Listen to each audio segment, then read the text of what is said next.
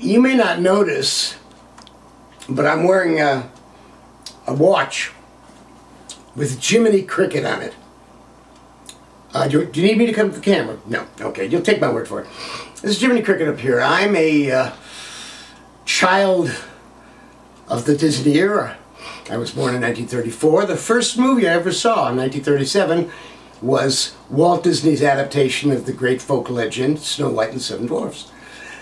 Um, I once worked for the Disney apparat, as we say in Russia at the KGB, the great Disney interwoven matrix that owns what Geico doesn't own.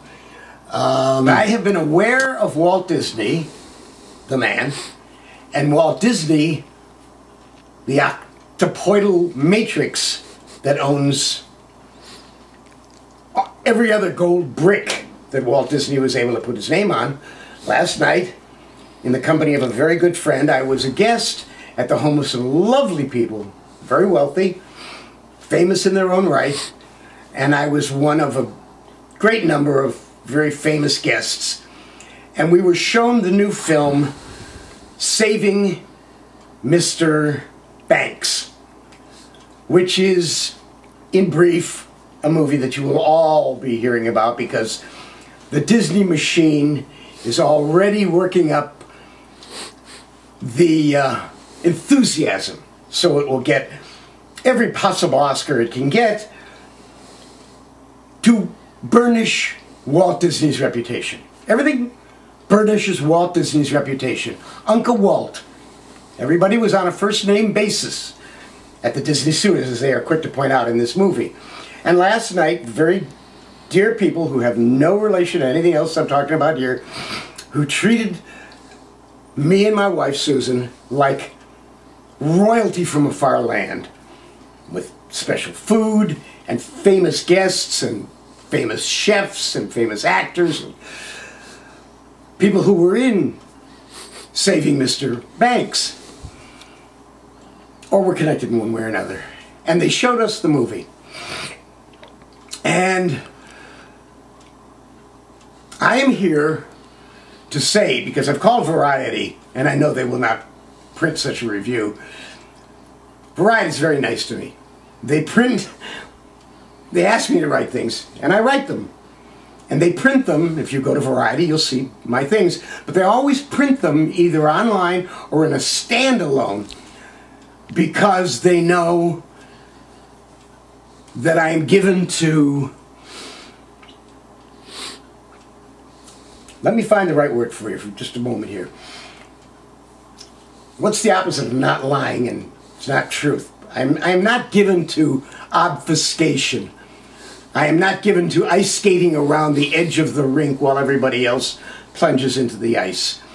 I watched this movie with great satisfaction. It was a well made movie. Emma Thompson is absolutely breathtakingly brilliant in the book. Uh, Tom uh, in the in the movie, Tom Hanks as Walt Disney is equally as good, but Emma Thompson blows everybody off the screen, portraying P.L. Travers, Pamela Goff Travers, P.L. Travers. Now I don't want to tell you much about the film because I don't want to spoil it for anybody because you'll go see it or you won't. All I will say is this and it is not pleasant.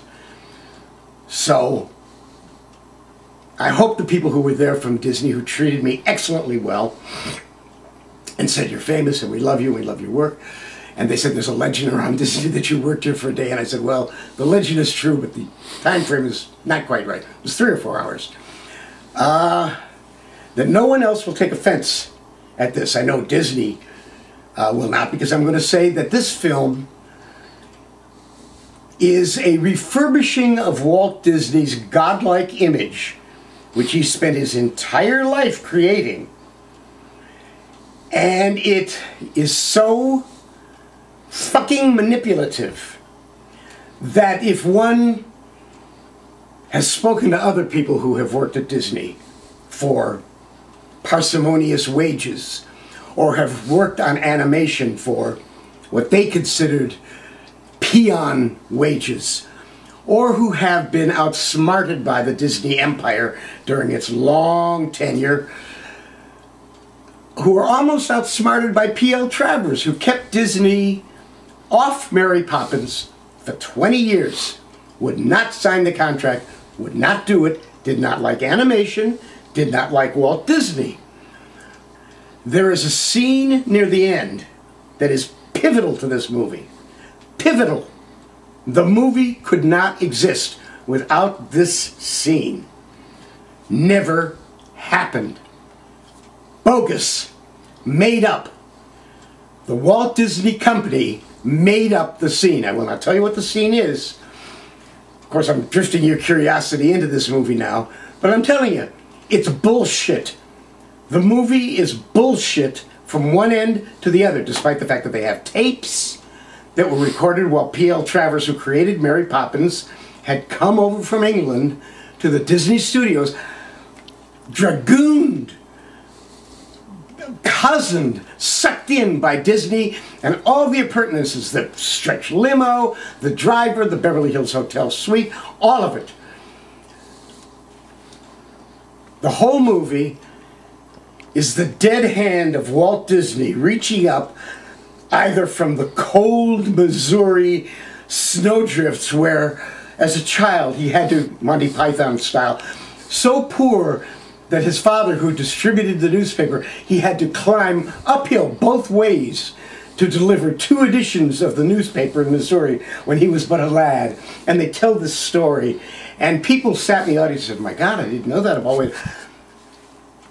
The phrase bullshit keeps coming to my mind. I don't know why.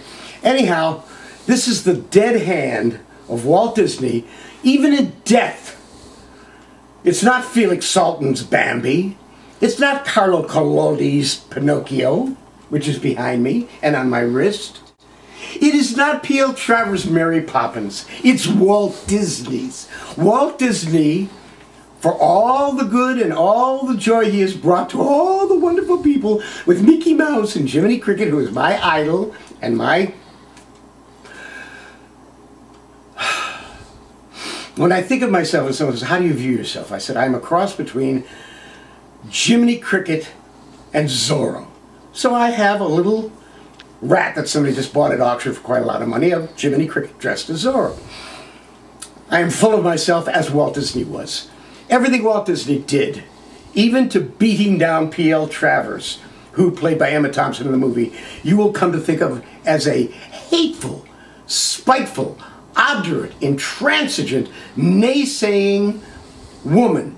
She was a woman with a haunted past who was defending her property, Mary Poppins, which in its way is, is, is iconic and as forever as Walt Disney has made himself. And me standing here talking about it only burnishes Walt Disney's reputation.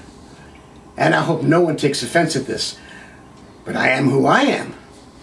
It is my desire not to spoil the mood for you or tell you anything salient or pivotal about the, the plot, except that half of it is made up. And despite what you see in the picture, Pamela Travers, P.L. Travers, who created Mary Poppins, and was there at the premiere at Grauman's Chinese Theater, surrounded by Disneyana, went to her grave despising the movie Mary Poppins.